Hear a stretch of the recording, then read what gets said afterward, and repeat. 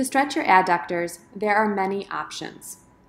First, you can try to take a seat on the floor and put the soles of your feet together. Lean your pelvis forward, leading with your navel versus your heart. You can also try to go into a straddled position. And you may find that placing your hands behind you helps support your body so you can achieve a better forward lean. Your goal is to not round your lower back. You may find it helpful to sit up on a yoga block if your back is rounding too much. Again, you can perform the same positions. And to get a deeper stretch, you can press your elbows into the sides of your knees.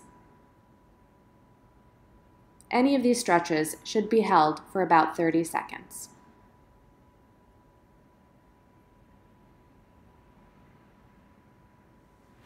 Remember, when stretching, don't yank, pull, or force. Just go where your body lets you go and try to relax.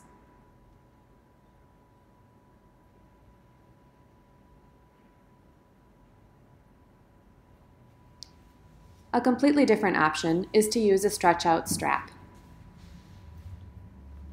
To do this, you're going to wrap the middle of the strap around your foot and then go into a lying down position on your back. Hold the end of the strap in the same hand of the leg that you are going to stretch. Guide your leg carefully out to the side, making sure to keep your pelvis flat or rooted into the ground. It is helpful to anchor your opposite heel into the floor.